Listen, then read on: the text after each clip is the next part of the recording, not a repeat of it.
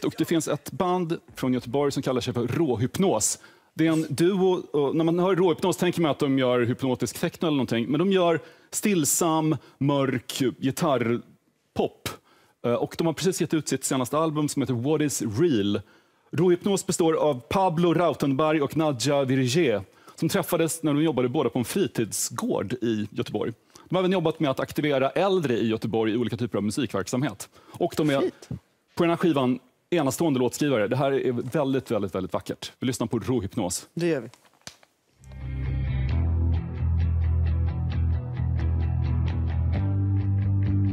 I see the horizon was in his eyes.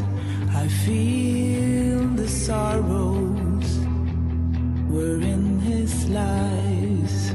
I heard the was in his mind. I felt his forgiveness.